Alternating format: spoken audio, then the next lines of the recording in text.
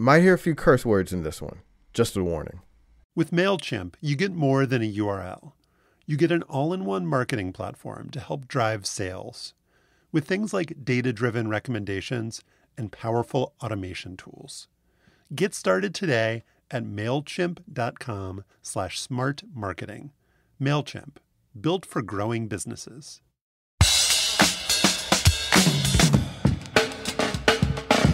Hi, I'm Stefan Fatsis, and this is Slate's sports podcast. Hang up and listen for the week of August 23rd, 2021. On this week's show, it's a guest fest. Track and field writer Jojo Gretschel joins us to discuss Sha'Carri Richardson's boastful and then bungled return to the 100 meter dash over the weekend. Spoiler alert, she finished dead last. We'll break down Draymond Green's revealing interview with Kevin Durant and what it says about sports and media with former player turned media member Rod Benson. And finally, Big Get Claire McNear of The Ringer fills us in on her blockbuster reporting about the offensive comments that brought down the guy who was supposed to replace Alex Trebek as the host of Jeopardy. Josh Levin is off this week, but go listen to his podcast series One Year, 1977. I'm the author of the books Word Freak, A Few Seconds of Panic, and Wild and Outside. I'm in Washington, D.C., across the country in Palo Alto, California. It's Slate staff writer and Slow Burn Seasons three and upcoming season six host and future Milk Crate Challenge champion Joel mm-hmm. Anderson. What's up, Joel? I'm good, man. How you doing this morning? Don't do that milk crate challenge, man. We'll see. And also, you're you're an athlete. You should maybe give it a shot. There's no way. I saw one TikTok of a dude falling on his back and landing on those plastic crates. There's no way in hell you would you would get me to do that. You just saw one, huh? that's, that's all I needed to see. I did see the woman in high heels conquer the milk crate mountain. Look, Steph. I mean, to be honest, there was a guy I saw roll a blunt at the top of the mountain of crates, and that's what made me think. If that guy can do it, I think I could do it. All right, let's get to the show. Actually, let's not get to the show, Joel. You didn't think we were going to let you get away without talking about what happened in that trivia tournament on Bomani Jones's podcast, did you? Oh, yeah. Well, I mean, I lost, obviously. But again, as I mentioned at the time, I mean, two of the questions were about baseball, one about hockey. Uh, I just oh, feel man, like that's the excuses culturally biased. are coming already. No, no, feel no, like no. that's you didn't culturally think I was prepared for this. So you get the first question. It's a baseball question. Congratulations. Who made the over the head basket catch in the 1954 World Series? That's kind of a gimme, Willie Mays. And then this happened, Joel. Which player holds the single game NBA record for three point field goals? I think this is counterintuitive. Hold on. Okay, I, it's it's one of. I'm just going to give what I think is the wrong answer, but What? no, actually, actually, is it Steph? You asking or you telling? Uh, Steph Curry. Close. Klay Thompson. Other Klay Thompson. I knew. Oh my God! I knew. Oh man. All right. Uh, first of all, this is I'm being ambushed. I didn't know this was going to happen this morning.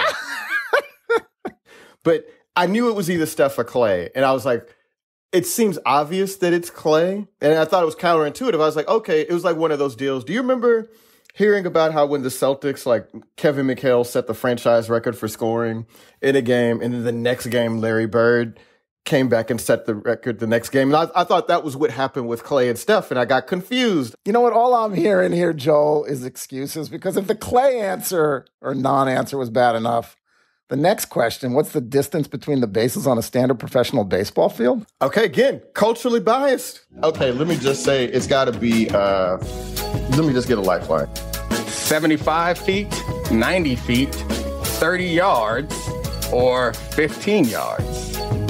What was this, the, the first one again? I'm a little confused at how this Yeah. these multiple choices were added, but it was 75 feet, 90 75 feet, feet. 30 yards, or 15 yards.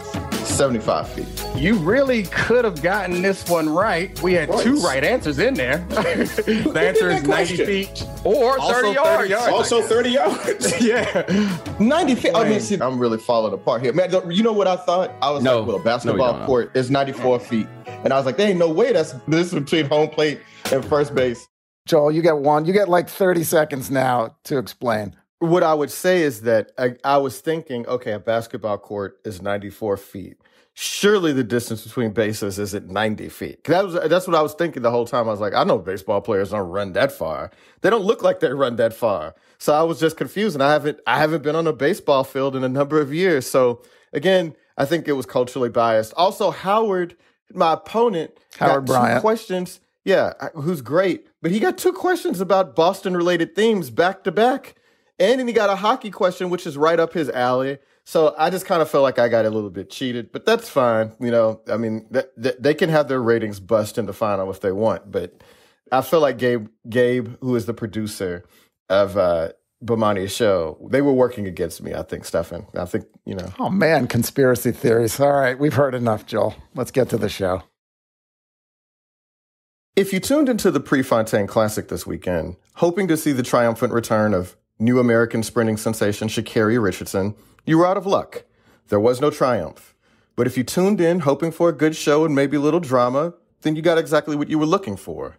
This was supposed to have been the long awaited showdown between the Jamaican sprinters who swept the 100 meter medal stand in Tokyo and Richardson, who won the 100 during the U.S. Olympic trials, but missed the games because she later tested positive for marijuana. Instead, on Saturday, the Jamaicans once again ran away from the field and were led by Olympic gold medalist Elaine Thompson Herah, who ran 10.54 seconds for the second fastest time in women's history. Meanwhile, Richardson lost in the 100 for only the second time all year, finishing dead last. Today, we're joined by Jojo Gretschel, who has covered track for more than a decade at places like ESPN Plus, FloTrack, and MileSplit, and who was a track and cross country runner at Tulane University. Jojo is currently the managing editor of The Striker Texas, an app and website covering soccer at all levels in the Lone Star State. Jojo, thanks for joining us. Thanks so much for having me. So, look, you saw the meet on Saturday. What in the hell do you think happened to Sha'Carri?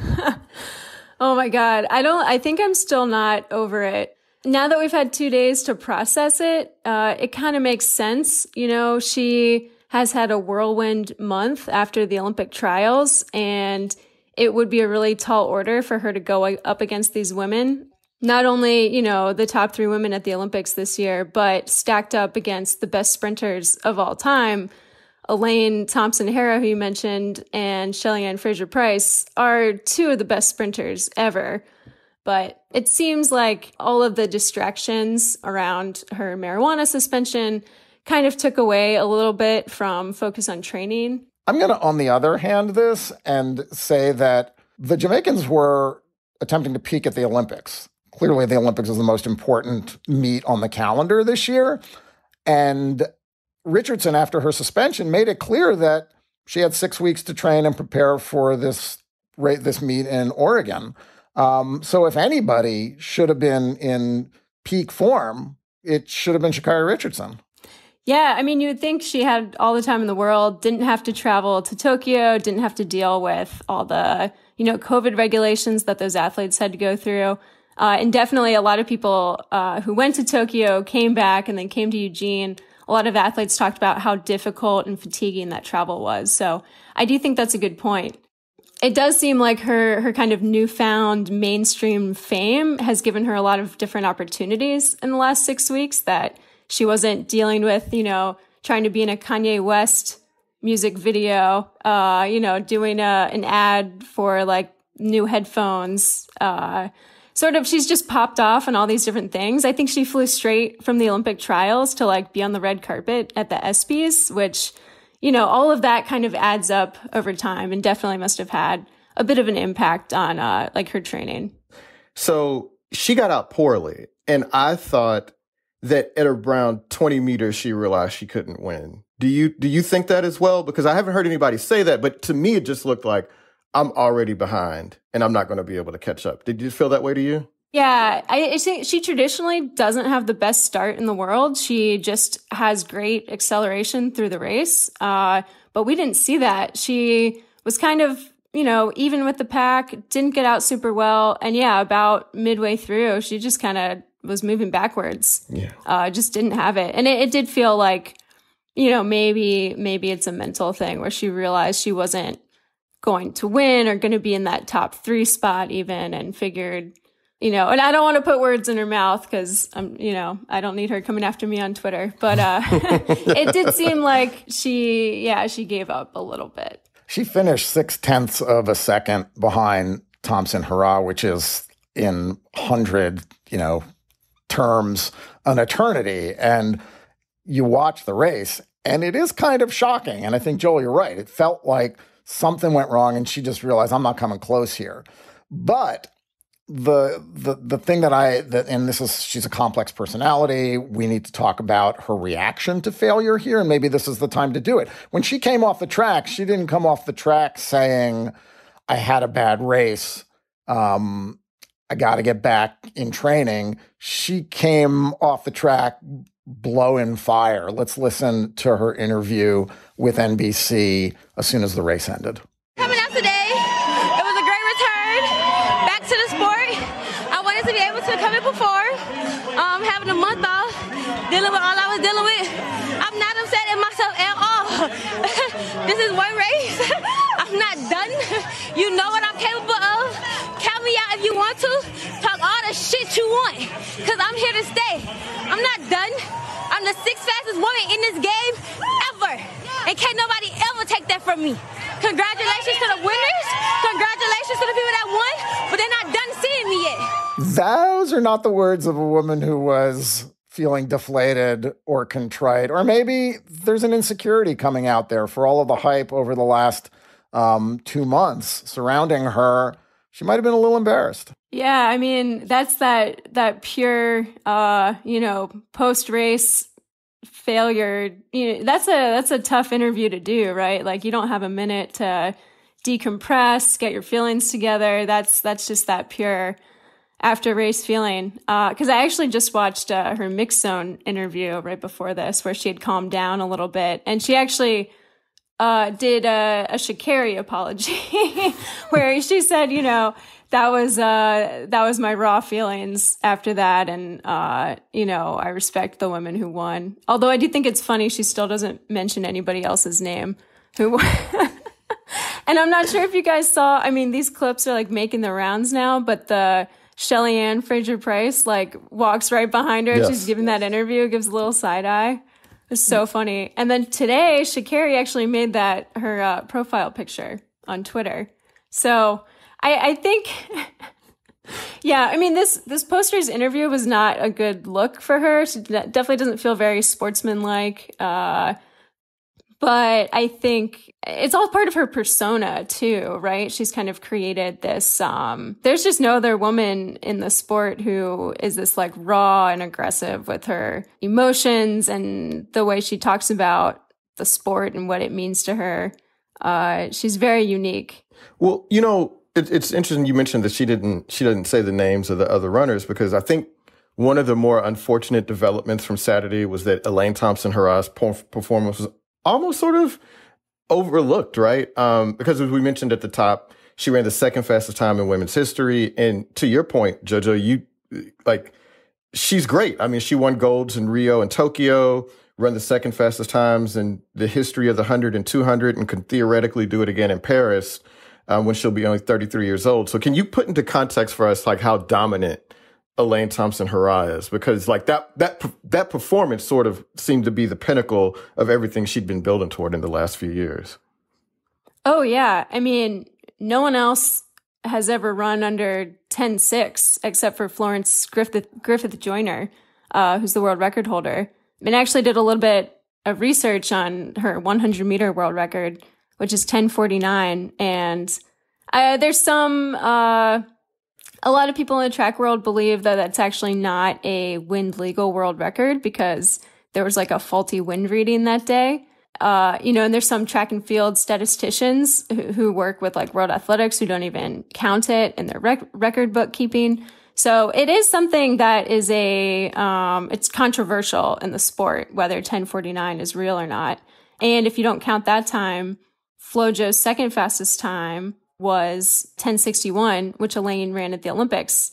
So now to come out and run 1054, that's not a time we've ever seen, except for one time in 1988, which may have been really wind aided. So, you know, to go back to Sha'Carri, competing against, I would say, the greatest sprinter of all time, you would you would see at halfway, oh wow, you know she's got a few, you know she's not used to somebody beating her by that much. So, but yeah, I mean Elaine, it's sort of too bad that they didn't interview her on camera right away after that race, and instead, you know, picked the girl who got last, who obviously is not happy with her performance. But Elaine should really get her flowers this year because you could argue that she's the fastest woman of all time.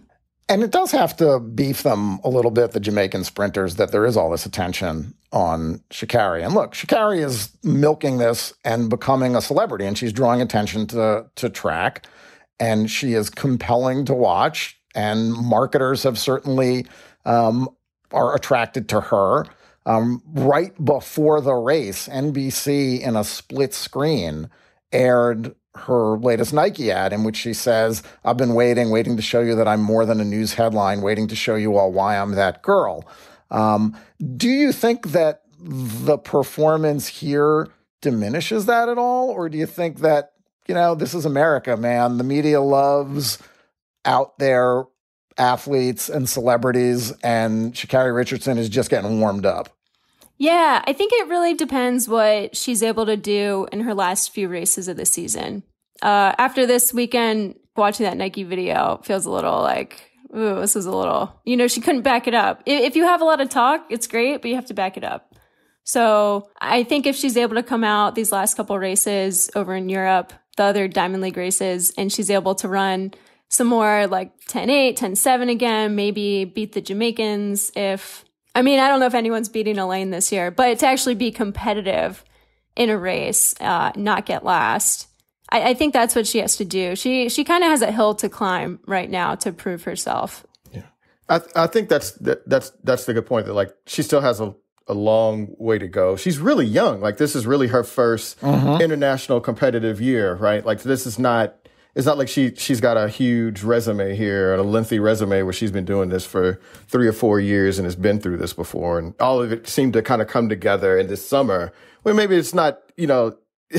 this is maybe not quite fair to her. Um, that you know she's young, she hasn't dealt with this sort this sort of defeat, this sort of attention, and like you know she could take this and learn from it. But I, I kind of wanted to to pivot to, and I want to see if you agree with me, JoJo, about who the best American women's track athlete is and will be for the next decade.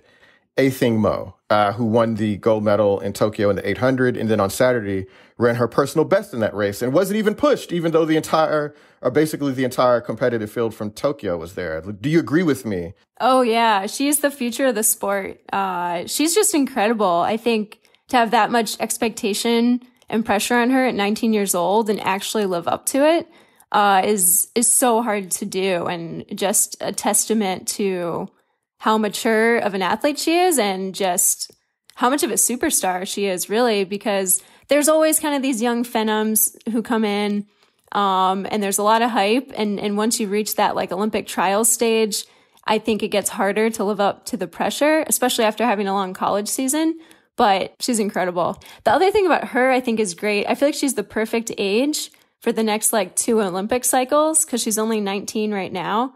So Paris 2024 and uh, Los Angeles, she is going to be in her peak. Joel, these are sort of different approaches to track, but we're talking about track, and Sha'Carri Richardson is um, is sort of feeding that. I mean, it does not hurt when there's an athlete that people are paying attention to who's you know putting up videos lip syncing to Nicki Minaj, saying it's game time, bitches. I mean, that's in a way good for the sport and it sort of lifts all boats, I think. Yeah, I mean, I don't, I don't think there's any question that Sha'Carri is good for track and field. Um, there's not been that many people that can draw attention um, outside of the small cohort of track enthusiasts like, you know, JoJo and myself, right? Um, so that Sha'Carri has even become sort of this pop culture figure is a testament to how great she is and how compelling she is as a personality. And the things that we see in her, the things that people say, oh, we need to sand down these edges or whatever. I think a lot of that is youth and inexperience and trauma. Like she's had a really difficult year, but, um, I like, anybody that would count her out over what happened on Saturday. I mean, that would just be silly. Like she just got, you know, her comeuppance by, as JoJo said, you know, two of the greatest female sprinters in, in, in human history, right? So uh, I think that's the thing that maybe Americans didn't understand. That they didn't know how good the Jamaicans were. And you got a sense for like how good they were on Saturday. And that may have happened in the Olympics, even if Sha'Carri had gone right on and not been suspended in the first place. So, yeah, we were talking about this. Like, it almost is better for the Sha'Carri brand every all the craziness that happened because it very was it very much was likely she'd go to Tokyo and you know at that point you know you can be lucky to make the final and not necessarily medal against that field because it was a really tough field so now she kind of has this big storyline following her and with the age that she is right now uh you know there's it's the perfect time to be in in top form as an athlete because there's world championships the next 2 years then there's another olympics and she's going to be in her prime for the next two Olympic cycles, whereas Shelly-Ann is like 33 years old, Elaine's 31, so they're not going to be here for all of Sha'Carri's career. Jojo Gretschel, Striker Texas, Tulane, track great, thank you so much for joining us today. And we'll have to have you back on when Sha'Carri inevitably makes headlines again, okay? For sure. Thanks so much, guys. And in the next segment, we're going to talk about that interview between Draymond Green and Kevin Durant with former basketball player and current artist and columnist Rod Benson.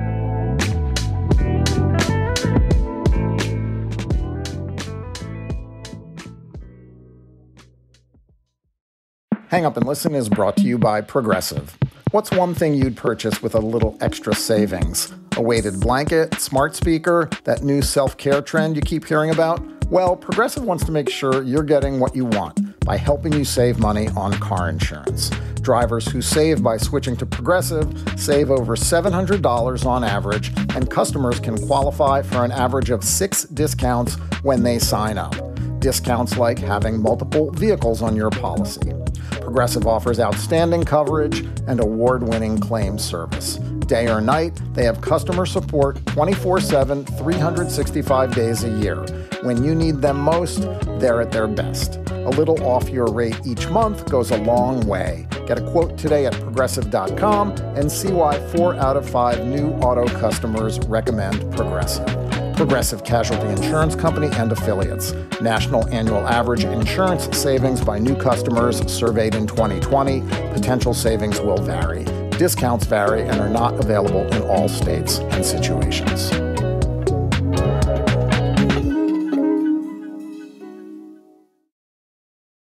Kevin Durant's final game with the Golden State Warriors came in game five of the 2019 NBA Finals when he crumpled to the court with a torn right Achilles. It was a deflating close to a thrilling run when the Warriors won 74% of their games in two or three championships. The third one slipping from their grasp when Durant went down with his injury. In the next offseason, Durant left the Bay for Brooklyn to start his own super team with Kyrie Irving and le- then later James Harden. But one of the NBA's greatest mysteries is why the Warriors dynasty came apart and how it came apart so quickly. Last week, the Bleacher Report published a fascinating interview between Durant and his former teammate Draymond Green to discuss publicly, for the first time, some of the reasons their pairing lasted only three years. Do you have any regrets about that, knowing that we probably would have won five more championships? No, I don't, I don't have any regrets at all. I felt like we did exactly what we were supposed to do. And I wish it would have three-peated because that's rare. And we were like right there. Um, but I don't have any regrets at all because I feel like if we just stay healthy with the Nets, we had a great chance to finish mm-hmm. too. Mm-hmm. So, um, no, I mean, being hurt for that year really changed my perspective on everything that I was doing and everything that I did before. I looked at that time with playing with the Warriors as so special to me, but it was time to move on. So, to discuss that interview and more, we're joined by Rod Benson, a former college star at Cal Berkeley and professional basketball player who today is an artist analyst for the Pac 12 network, and a contributor to SF Gate. Rod, thanks for joining us. Hey, thanks for having me. I appreciate it. Rod, last week you wrote a column for SF Gate saying that the Green Durant interview might herald a new future for sports media. What did you see in that interview that made you feel that way? Yeah, it, I mean, it was just immediately compelling. And I think, you know, what I kind of realized is that you know, the, the swell of, of um, attention it got uh, from casual and you know more advanced fans you know, they didn't care that it wasn't inaccurate, you know, what they were talking about. They just, it was just still compelling. And I think that, you know, sports media for a long time has really wanted to be accurate and get the scoop and get these things that may be true, but aren't more compelling than just watching two guys talk. And I think that's exactly right, Rod. What stands out in that interview is the level of candor but I think you also have to start with the fact that Dre and KD are deeply introspective and thoughtful. What they say, regardless of platform, is almost always worth hearing. And they're willing to share their inner emotions, which not all athletes are. That's partly because they're stars and they've got agency. You wrote in that SF Gate column, they are above consequence, and that means they have total control. So, this quality of conversation isn't always, I think, replicable. Not every player has interesting things to say, and not every player feels comfortable saying them. Yeah, I, I actually disagree. I think, you know, having been in locker rooms over and over again, there's no more interesting conversation than between the guys in that room because a lot, you know, part of making it to that level and each level I've gone up, you see more of this is having a personality that can handle, you know, everything that comes with it.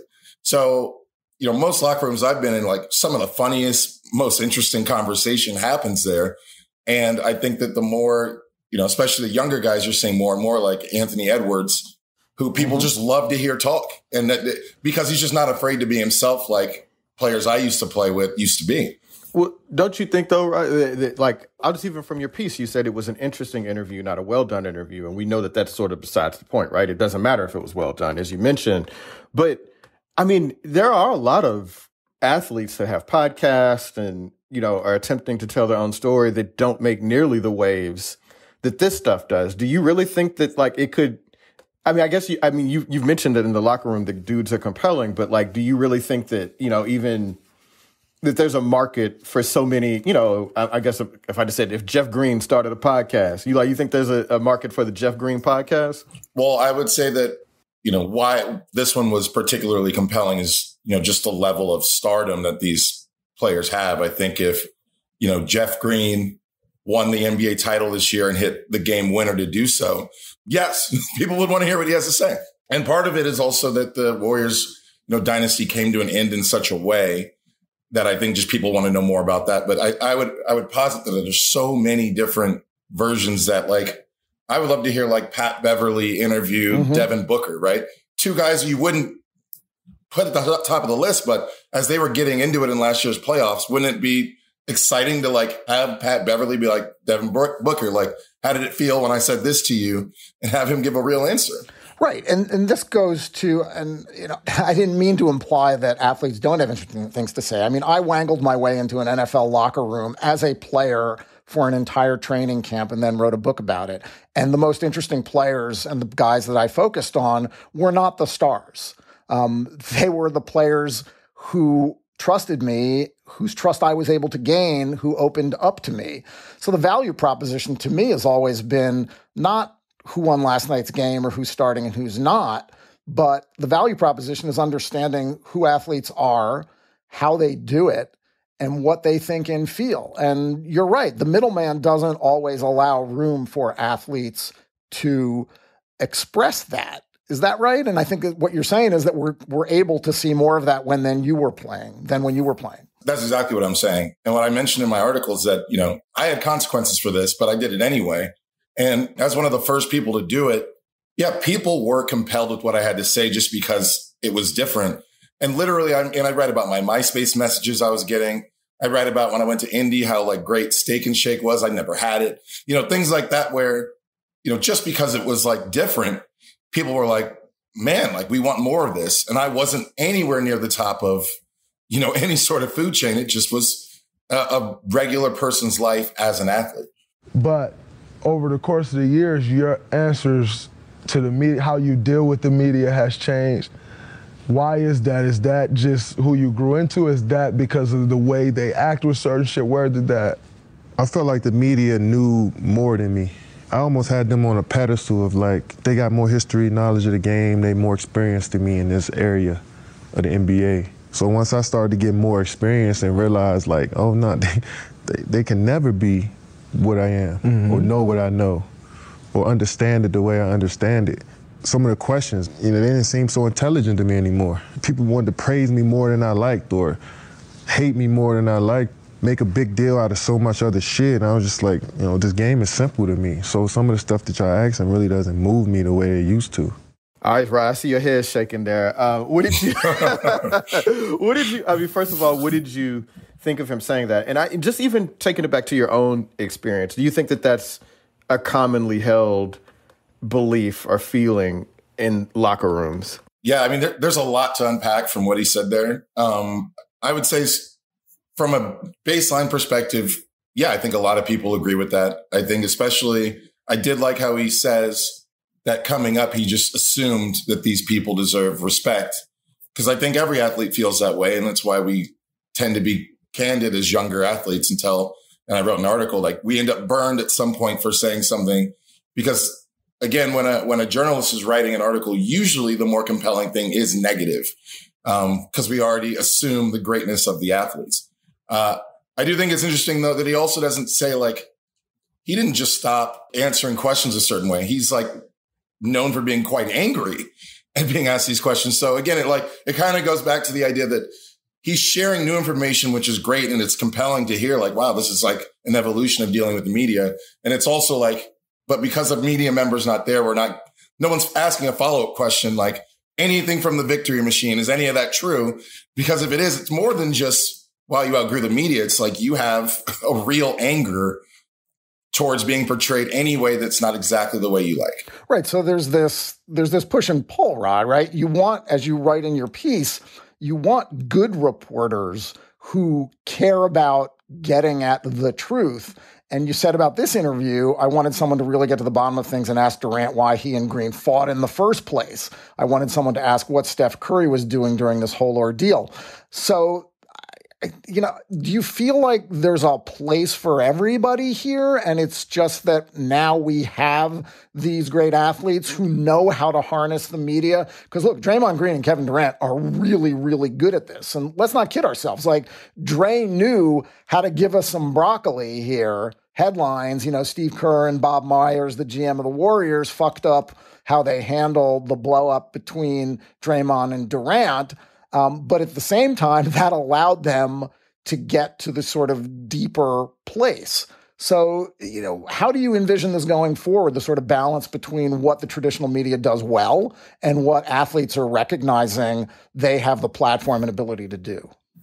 Yeah, I mean, I guess what I really got to is that I don't know if it matters, right? Like, I wanted all these questions answered, but I guess who cares? I still watched it. Right. I'm still interested. We're still talking about it, right? Like the last dance. You know how many questions I have about the last dance? Like the flu game, really? Like the guy just brought up a pizza. Like get out of here. But we all it was like the most watched sports documentary of all time because again, we're hearing this person's perspective.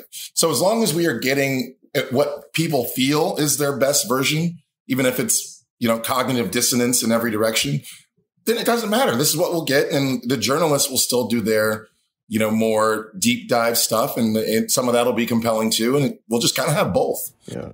And Stephanie, I, I, I thought that was it, it, this is an interesting conversation to have.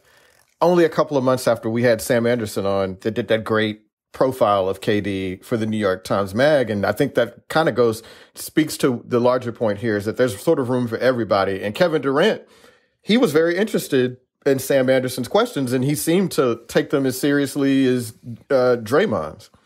But this is all about trust, isn't it, Rod? Like if you you know, you told a story about how when you were an undergraduate and you gave a candid interview and it ended up just being sort of bulletin board bullshit. Um, and you know, KD realized that he was dealing with a reporter who was smart, who was asked him interesting questions, and it gave him a opportunity to have an interesting conversation for a few hours. And ultimately, to me, that's always what it comes down to. And it's hard for, I think, young athletes, especially, to know whom to trust or how to gain that trust. And it, and it, and some reporters are just really shitty at, at understanding that athletes are people too. No. Yeah, I think. I mean, trust is one version, and I think the other version is consequences. Once again, because you know whether I trusted that guy in college or not, which I did trust him at the time, you know, there were consequences to what I said. And it, if, in my opinion, if a reporter is only seeking the things that will have negative consequences for the athlete, then of course they're never going to be trusted and they're never going to get the kind of access that they're looking for. But and, and, I know so many athletes who feel that way. Like I went to school with Marshawn Lynch. There wasn't a person with a bigger personality who was more candid than him. And then he's in the NFL and it's, you know, just here so I don't get fined. There's a reason for that. He put up a wall because he's like, I'm tired of getting burned. I want to ask y'all about this in terms of like just the the news within the the the interview for a second, if that's okay, because I'm not surprised that Draymond didn't seem to take a lot of responsibility for offending KD or creating the circumstances that led to the blowup of the team. But we're like, Rod, were you at all surprised that sort of Draymond is like, I'm I'm going to laugh in your face, and you guys are going to fuck this up, pose, or, or, or maybe not. I don't know. Man, I, I we're gonna what I'm gonna say is gonna sound a little hateful, but every locker room I've been in that had someone like that, I hated him. I hate that guy. I hate that the coaches always like bend over backwards for that guy. Like I, I honestly believe that like again, they didn't they didn't dig deeper, but if I was KD and I saw that the team like still wanted to keep this guy around, I'd be like, okay, you made your point. Discipline him for one game for all. Like, if you think that that blow up that we saw publicly is the only thing that Draymond Green does that's batshit crazy. You're, you're wrong. That's just what, if that's public, the private stuff is insane. And I hate playing with that guy. And I'm like, I bet that's literally just KD's like, man, like the fact that y'all cater to this at all, like, I, I don't want to do this. And he left. I mean, KD did say later, and this was, I thought, a really good question. Um, you know, Draymond sort of says, like, you know, he goes through the sort of backgrounds of sort of everybody that that KD played with, whether it was Russell Westbrook or James Harden or Kyrie or Draymond, and says that we all have chips on our shoulders and sometimes we all go too far. And Durant first says, You always went too far, but then he agrees. And I thought this was sort of really interesting to hear how these guys sort of come to appreciate and understand each other when I'm sure in the moment, like you're describing, it's frustrating to deal with that guy. Yeah, I think, you know, it's uh, it's a sign of an older player to have that perspective that KD has, which, you know, I matured into that too in my career, where it's like when you're younger, you just kind of like, this guy sucks. I hate him. Like, I don't want to play with this guy. And when you're older, especially when you're older than the, the guy, you know, you start to be like, okay, I get why you're the way you are. And I understand that like it's hard to carve out space in this, in the world in general, but in a locker room and a, to get, you know, imagine you're, if you were Carmelo drafted to the if he had gone to the uh, Pistons instead of the Nuggets, he'd be the fifth option instead of being on some team where he's the first option. How does he carve out space? Why do Jamal McGlory? This is true. Every time he used to grab a rebound, he'd yell "mine" before it went up. Right? You ha- it's hard to get these things, so you don't get as upset when you see someone acting out. But I do think that him saying, "Draymond, you were the worst of the worst," means that Draymond might be the worst in the league. And, and, and, I, and I don't say that lightly because it, it, it shows. And so I thought an interesting moment, and I don't know if you, I mean, it, it's the moment that they highlighted uh, when they promoted the interview, but I thought it was interesting in that KD agreed with Draymond that Steve Kerr and Bob Myers were to blame for the rift in the locker room. But I, I'm kind of not sure how it was their fault because I, it felt like they tried to say, "Hey, man, are you going to apologize?" Because like KD is important. We don't want him to leave. Apologize. And then he, you know, he handled it the way he handled it. But then they said Steve Kerr and Bob Myers are to blame. And I just, I kind of didn't see that. Did you all feel that too? Because I just, I didn't, I didn't get where Steve and Bob Myers were to blame for this. I can understand each player believing that those people were to blame. And, but I also think, again, without any follow up questioning, that it was for different reasons. Draymond's being Draymond. He's like, how dare you reprimand me? Like I, I run this shit. And KD's like, all you're going to do is suspend it. Like, get him out of here. Nobody likes this guy. I like, I, I sincerely guarantee that there was some other level where the, he didn't think just suspending Draymond for a game was a meaningful action. He wanted Draymond to fundamentally change his action. That's just me reading into it. But if those two people aren't going to put any pressure and they just let one man run this whole show with uh, and just above like real reproach then yeah i imagine that's frustrating when you're just way also way better at basketball than this person it's like why are we doing this we, we didn't hear from, from steve kerr or bob myers right. so and yeah. we won't right i mean there's no there's no reason for them to ever talk about this publicly right rod benson sfgate columnist analyst for pac 12 network professional artist thank you so much for joining us today. Glad to have you on. Yeah, thanks so much for having me. It's a great discussion. Rod is going to stick around and talk to us on our bonus segment for Slate Plus members. And coming up next, our interview with Claire McNear of The Ringer about Jeopardy!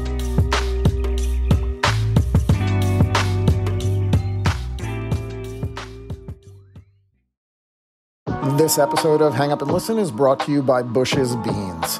Glorious summer is upon us, and that means flip flops, sunglasses, short shorts, and summertime fun. No summer meal is really complete without the classic taste of Bush's baked beans.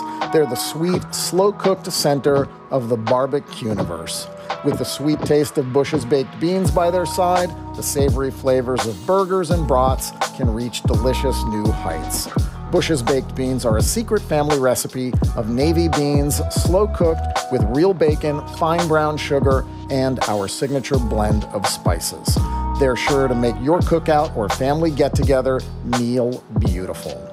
If you want to learn more about Bush's baked beans, head to bushbeans.com slash hangup. That's bushbeans.com slash hangup. Just days after Alex Trebek died last November of cancer at age 87, online sports books started taking action on who would replace the beloved Jeopardy host. Ken Jennings, the record setting winner on the show, was a favorite. CNN commentator Laura Coates and LA Kings play by play announcer Alex Faust also were named because Trebek had mentioned them in an interview once. And so were actor LeVar Burton and TV personalities George Stephanopoulos and Anderson Cooper.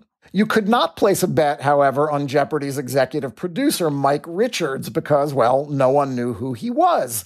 But after a months long bake off involving fill ins from Aaron Rodgers to Dr. Oz, Richards, who was part of the group conducting the search, was announced as the new daily host of the show.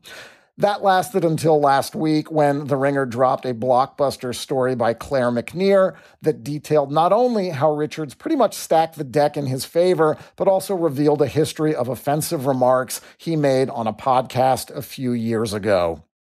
Claire McNear joins us now. In addition to owning the Jeopardy beat, she is the author of Answers in the Form of Questions, a definitive history and insider's guide to Jeopardy, which was published last year. Claire, congrats on your work and thanks for coming on the show. Hey, thanks for having me. The whole saga is remarkable, first for the public attention that it created around a game show, and then for your unmasking of Mike Richards as an entitled doofus. Before we get into how you unearthed the incriminating audio and what Richards said, tell us who this guy is and how he wangled his way into being named to succeed Alex Trebek. Yeah, so um, Richards is somebody who, uh, even before he came to Jeopardy and Wheel of Fortune, um, was was pretty well known in the kind of game show universe. So he's 46 and has been working in TV basically his entire adult life, um, and has hosted some reality shows. He hosted a couple short-lived game shows um, on on Game Show Network GSN, um, and he's also done a lot of uh, behind-the-scenes stuff, so a lot of production stuff. And his um, last job before he came over to Sony, which is the parent studio of Jeopardy, uh, was he was the executive producer of The Price Is Right and of Let's Make a Deal, which he kind of helped revive. Um, so he's done these very very big shows. Um, but from talking to people who've worked with him over the years, and we can get into all this, uh, it, you know, it was made very clear, apparently, to most of his colleagues and employees that he really wanted to be in front of the camera as well. So he was hired by Sony to an overall deal um, in 2019. And then he became the executive producer of uh, Jeopardy and of Wheel of Fortune because our sister shows kind of share a lot of their production um, in 2020. So he uh, had just become the executive producer when Trebek passed away. Um, and then, of course, this guest host process kicked off. So, you know, I think he was well known um, amongst sort of wonky game show types, but uh, he he obviously I think was was by far the least well known of of any of the guest hosts this season.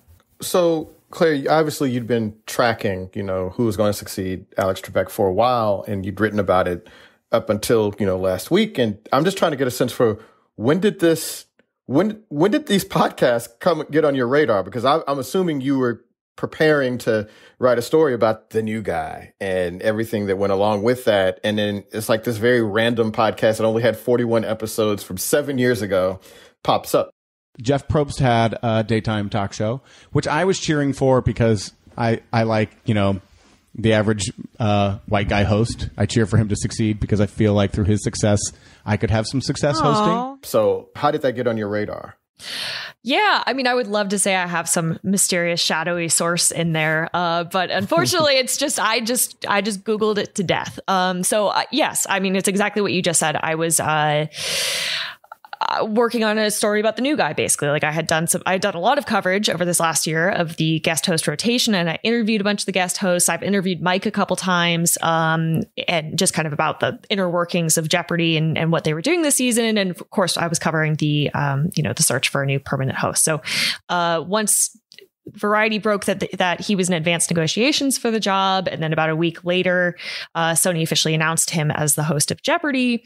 Um, and so, yes, I was just kind of working on a deep dive, and I was really interested in sort of what I was just talking about his early television career and this kind of previously stated desire to also be a host. Um, so it was through that that I just started looking into these previous projects he was a part of, and literally on his jeopardy.com official bio that he, though he also talked about it in a lot of other interviews uh, it, it, mentions that he hosted and created this um, I, I, guess like comedy news show when he was a student at pepperdine called the random show so this was in the 90s so i was like well i would i would like to see that that's his first time in front of a camera um, and i couldn't find that because it's from the 90s, uh, so it was not easily accessible. But this podcast that he hosted at The Price is Right um, had the same name.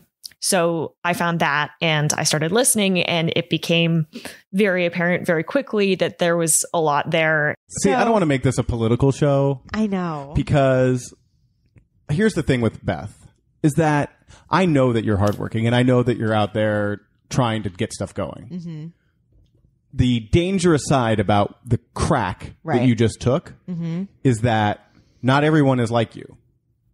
Com- yeah. Mm-hmm. But everyone can collect unemployment, which is why we have so many people on unemployment right now. Mm-hmm. Which is why we have so many people on food stamps. Because what if you got unemployment and food stamps? You'd be like, good lord, I make, you know what I'm saying? Was the show even good? Was the random show like if you get if you get past like just the racism and the sexism and all the other stuff, like was it a good or entertaining show? Did you see any hint that that guy could replace Alex Trebek in that podcast? Well, uh, I think those are different questions. So, um, whether it was any good, it was sort of billed as the inside look at the Price is Right. And and after we we asked Richards for comment within a couple hours, he deleted all the episodes and he he put out an apology um, for you know the the comments that we asked him about. Uh, and he kind of has tried to play this off as a comedy podcast. And I don't think that you know that's an accurate depiction of what it is because I mean, so not only was he the executive producer of The Price is Right at the time. They taped this on The Price is Right set. It inv- uh, his co-host was his former assistant. Um, his producer was his current assistant at the time. Uh, they would have like guests on the show come in, like Chrissy Teigen does an episode, um, and they talk a lot about The Price is Right. So I think you know if you were a big Price is Right fan. It, I mean, it it did sort of work on that level, in that it was like this very gossipy show where they would talk a lot about you know whatever special episode they have coming, or kind of dish about the Emmys and what game shows they think should should be nominated. So I, I mean, it does sort of offer a glimpse in into that world that you know an executive producer is well positioned to um, provide. I I don't think I would keep listening to it if it were still being made today for a few reasons. One of which is a lot of the kind of problematic language. And they were talking about a lot of things other than the prices, Right. It ends up being a lot about like celebrity news and just sort of you know what whatever they're thinking of that day so it's very ram- it's it's you know your classic very long very rambly everyone's gonna wear one pieces and look really frumpy and overweight yeah now uh that's so funny because no one's overweight, but but they all look right, terrible in the picture. Yeah, they look fat and and like not good in the picture. It's bad. Oh my god, You look great. You look like a Sports Illustrated model, and then you've got one piece Malones on either side of you, which are just horrible. I can't wait till you meet my roommate because she's literally gonna be like, walk up to you in like a bag and be like, "Hey, Hey, what's up? Hey, I'm what's wearing a smock, I'm wearing a smock." and I'm going to give her a smack. You ready for some news? I know. The clips that you pull out with good journalistic reason make it sound like, you know, it's like sophomoric morning zoo talk Mhm. radio. It's sort of Howard Stern light. Yeah. Um, and to me, it's just sort of another example of the sort of the tyranny of the unserious. But to have all of this associated with Jeopardy seems wrong. And it's that disconnect between the sort of the image of the show as the intellectual, serious, Alex Trebek driven vehicle. Um, and then you hear this guy that's striving to be sort of, you know, the sort of dumbass morning talk show host doesn't fit. Yeah. So, I mean, to to go into um, what specifically we're talking about in a little more depth, um, you know, he it's kind of filled with a lot of sexist language and ableist language and classist language. Um, he uses a lot of kind of ugly slurs. He talks a lot in many many episodes about women's bodies and women's clothing. and to the point to where Beth got a job being a was it a booth hoe? Is that right at, at CES? It was a booth babe. I don't think Yeah. they used the word hoe for that. What is a booth babe? A booth Whatever. a booth slut is someone who dresses up in very provoc- provocative clothes. And I was in a t-shirt. Uh-huh. Well, so It- she was in Go a, on. she was in a white t-shirt contest.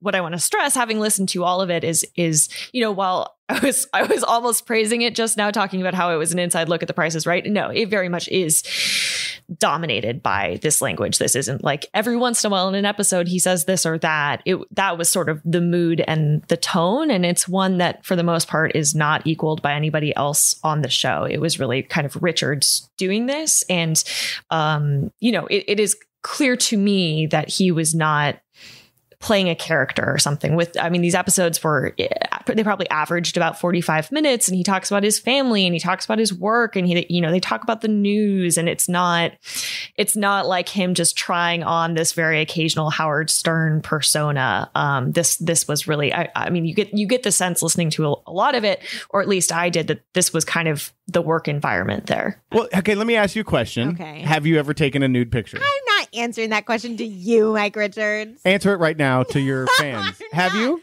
I mean, I've no, I haven't. Yes, you I have. have not like naked. I've taken like cute pictures of myself that I. What thought does were that mean? Cute. What I does that know, mean? I thought I was like so cute.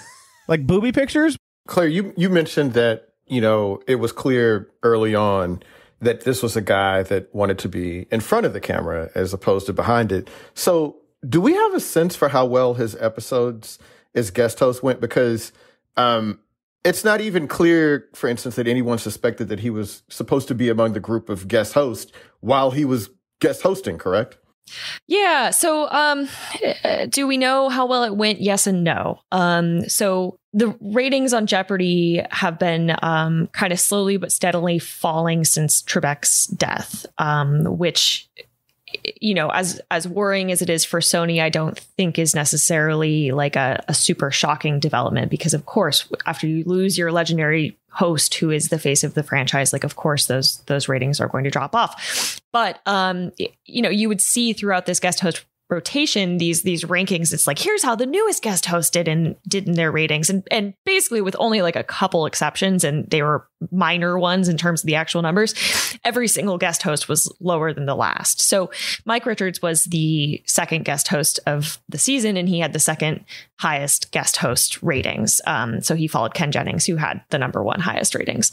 Um, so you know i don't really know what you can tell from that because i think that has more to do with proximity to to Trebek than than anything. Um, the thing that Sony and Richards, giving a lot of interviews as EP over the last year, hyped was that this search for the next host was one that was going to rely on analytics and data, um, and that I think through my reporting and through the reporting of others has has become somewhat suspect. Um, you know, we from talking to people for this story that came out last week, um, it became clear. I mean, he was intimately involved in just about every corner of the process. So Sony has said that once he became a candidate, he bowed out of this kind of search committee for the new host, but he was still the executive producer. So he was still the person training every new guest host as they came into the studio. He was the one literally in their ear telling them what to do or, you know, to do better or to stop doing. He was the one, it has come out in the New York Times, um, who selected the episodes to to send on to focus group. So I mean, in theory, like your your very first episode that you ever tape, your probably your first ever game show is probably not as good as your tenth episode or or whatever it is. And so to have him involved in that process, and and in some cases to be the only person making those calls, um, is of course a conflict of interest. So I think there, you know, uh, in my story, yes, we touch on the podcast, and there's a lot there that is worth examining, and I think that has kind of dominated the headlines since he stepped down down. But it really is also now clear that the, the, the search for a new permanent host wasn't really what it seemed to be, or at least not entirely. And I think that has fans feeling fairly betrayed. So, I mean, it, it seems like yeah, he he emerges, he gets named the successor to Alex Trebek. You write your story; it drops last week. What happens as soon as the story gets published for you? Like, did, do you start getting calls then, or like, how did, like, you know, did you get a sense immediately that like, oh, it might be over for this guy already? Well, so to get into the timeline a little bit, um, so we reached out for comment on Tuesday, and all those those episodes were pulled down on Tuesday night, though though we had copies, of course. And uh, we published on Wednesday. Thursday was the long planned first tape day of the season, and um, not only was it you know the contestants coming in for the first five games of the season because they tape a week's worth of episodes um, episodes on each tape day, they also had this um, kind of ceremony they had planned to dedicate the soundstage where they filmed Jeopardy, rename it the Alex Trebek stage. And they had Trebek's family come in, his wife and his kids. And they had all these like kind of Sony dignitaries come in. And they clearly kind of wanted this to be this big deal, special moment. Um, and to be, you know, the beginning of a bright new era with Mike Richards as the host. And um, he taped those five games. But what has come out and what I've been hearing from people is that I mean it was it was a very tense day on the set and that a lot of the staff had seen things that were in my story and they were very troubled by them. Um, and so then Friday morning, um, they announced that he was stepping down and they canceled production because they were supposed to tape the second the second uh, week week of episodes for the season that day. And they actually had all the contestants 12 contestants who were going to be playing that day. And many, in many cases have been training for months and years for this chance. They got to the green room and then they were told to go home. So Jeopardy is supposed to start taping its next week of episodes this week. Um, and we don't know what they're going to do. They haven't said if they're canceling production. They had said that um, they were going to turn back to guest hosts. They haven't said who that will be yet, if it'll be new people or if they'll return to some of last season's guest hosts. Right now, Mike Richards is still the executive producer of the show and of Wheel of Fortune. So, you know, it's, I think there has been some, some outrage that if these things are disqualifying for him to be the host of Jeopardy, surely they must also be disqualifying for him to be the executive producer of the show. And of course, the staff is not pleased either. Um, so it's sort of a, a, weird thing that's going on over there. And I, I mean, I frankly just feel for the contestants who who had no part in this at all, and they don't get any vote about who who the host is, and and suddenly this is you know part of their Jeopardy experience. To finish up, Claire, um, this is really embarrassing for the legacy of this show, which, like as as you write about and I mentioned earlier, is sort of viewed, particularly in the game show world, as like this intellectual outlier. Um, how much does this hurt Jeopardy's reputation? You know, how does it recover the sort of the the gloss of Trebek's reputation? You know, there have been reports that the head of Sony TV is is now kind of in hot water over bungling this because I mean he was one of the probably the deciding vote um, in hiring Richards to be the host, and you know that they had not found this podcast themselves or kind of looked into all of this more certainly raises some eyebrows.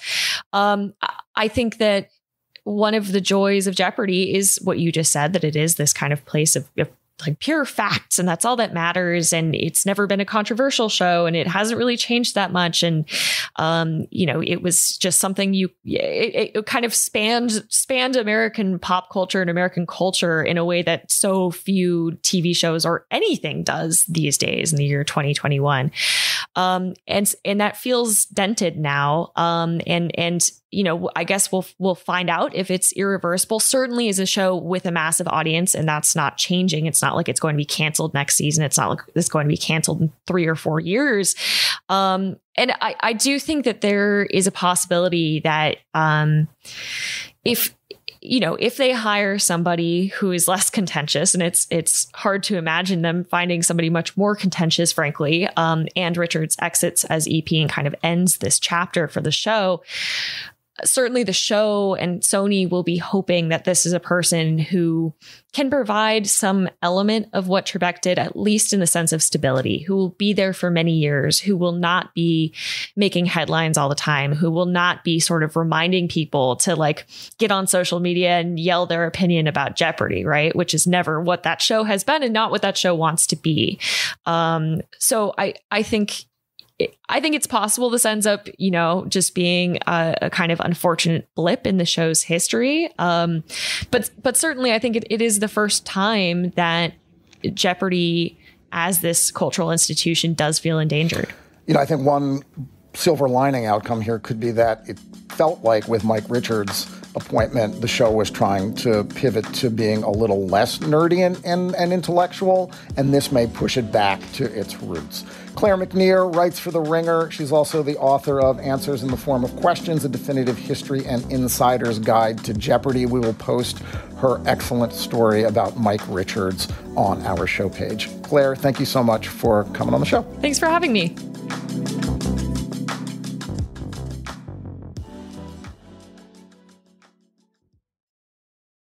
If your company's whole hiring strategy is hoping the right person will come along, you're not drafting or trading, you're just waiting. Get serious about building a championship team now with Indeed Instant Match. When hiring gets hard, you need Indeed, the job site that makes hiring incredibly simple. Just attract, interview, and hire. Don't just hope your perfect candidate will find you. Indeed's hiring tools help you cut through the noise to hire faster and smarter. In fact, Indeed Instant Match provides a list of quality candidates whose resumes are on Indeed the moment you post a sponsored job. Indeed Instant Match immediately delivers quality candidates whose resumes on Indeed fit your job description. You can even invite them to apply right away. And according to Indeed data, candidates you invite are three times more likely to apply to your job than those who only see it in search alone. Plus, with Instant Match, Indeed data shows 90% of employers get quality candidates from Indeed's resume database as soon as they sponsor a job post. According to Talent Nest, Indeed delivers four times more hires than all other job sites combined. Join more than 3 million businesses worldwide that use Indeed to hire great talent fast. Get started right now with a $75 sponsored job credit to upgrade your job post at Indeed.com slash hangup. Get a $75 credit at Indeed.com slash hangup. Indeed.com slash hangup. Offer valid through September 30th. Terms and conditions apply. With MailChimp, you get a whole lot more than a URL you get an all in one marketing platform to help drive sales. That means you can connect your data to make more informed, smarter decisions. And you get powerful automation tools like our Customer Journey Builder to ensure you never miss an opportunity to turn shoppers into loyal customers. So if you're ready to integrate your marketing and boost sales, get started today at MailChimp.com slash smart marketing. MailChimp built for growing businesses.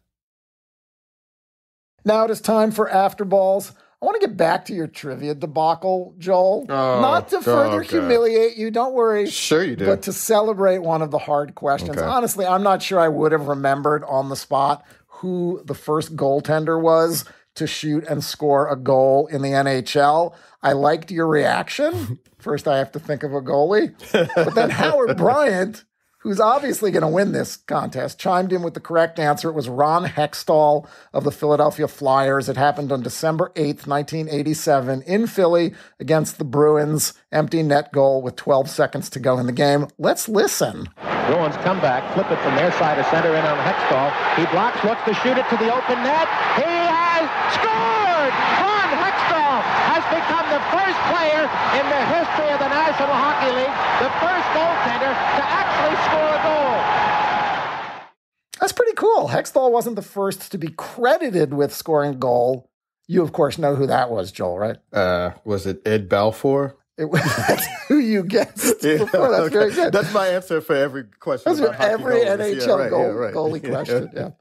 Uh, no, the answer is Billy Smith of the New York Islanders in 1979. He was the last player on the Islanders to touch the puck before a player on the Colorado Rockies scored an own goal into the empty net. Seven goalies have shot and scored after Hextall. The most recent was in January 2020. Actually, it's six goalies because Ron Hextall did it again the following season in the 1989 playoffs. The great Ron Hextall. All right. Well, Stefan, what is your Ron Hextall then? I have now been to two live professional sporting events since the pandemic. The first was a Washington Nationals game in the spring when the stadium was at 25% max capacity and seats were zip tied to prevent fans from moving around to empty ones. The second was on Saturday when I joined 615 other spectators at Catholic University in DC for a big game between the DC Breeze and the Raleigh Flyers of the American Ultimate Disc League. Now, we've talked about Ultimate Frisbee once before on this podcast back in 2017 when Josh and I interviewed David Gessner, the author of Ultimate Glory, a memoir about the sport, but we've never discussed the pros. Or more appropriately, the semi pros. The 11 year old AUDL has 22 teams from Boston to San Diego. My favorite names are the Minnesota Wind Chill, which is a nice Midwestern companion to the DC Breeze, which honestly, if you wanted to be like region specific, it should be called the DC Stale Humid Draft. But Breeze is pretty good because it connotes the disc riding on the wind. I also like the Madison Radicals. Which I assume or hope was named for the city's history of progressive politics and activism. Fox Sports 2 shows a weekly AUDL game. DraftKings is a league sponsor. Players get anywhere from like 25 bucks a game plus travel, hotel, and per diems to contracts for around $15,000 and coaching a high school team or teaching ultimate frisbee in gym classes. Now, I went to the Breeze game because I've known a bunch of Ultimate players since they were kids, and a couple of them are now out of college and playing in the league. Shout out to Jake Radak and Duncan Fitzgerald, and to two more players who also went to Wilson High School here in DC and are still in college and playing in the league. Jacques Nissen, who had a ton of assists on Saturday and Aaron Bartlett. The Breeze game had a distinctly minor league vibe. Cheap tickets. The concession stand was basically pizza and beer, hanging vinyl sponsor banners, a try hard employee with a mic on the sidelines, tossing t shirts and attempting to get the crowd to cheer. At one point, he shouted that the breeze is blowing which, given that the team was doing well, didn't really make sense. Uh, little kids in front of us, annoyingly but forgivably clapping thunder sticks. There were some deer grazing on the Catholic University sports fields behind the metal bleachers under a majestic summer sky. And once the sun set on what was a brutally hot day, it was lovely. Ultimate is played on an 80 yard field with 20 yard end zones. Players catch and plant a pivot foot. And in the Pro League, they have a maximum of seven seconds to make a pass. It can be a little static. Games between good teams like this one tend to be dominated by the offense, but the athleticism is high. There's lots of cutting, faking, all out sprinting, and dudes laying full out or skying way high to make catches or blocks. And the sight of the disc floating the length of the field during the pull, which is the equivalent of a kickoff. I find that very soothing. Anyway, this was a great game, Joel, back and forth all the way, culminating in double overtime. The Breeze got the disc to start the second OT, which was sudden death, and they drove the field and scored to win 22 21 and secure first round home field advantage in the AUDL playoffs. Here's how the ending sounded on the league's live stream. Now they're close. Now they're close. And they're in. Jeff Womack has it. DC's won it in double overtime.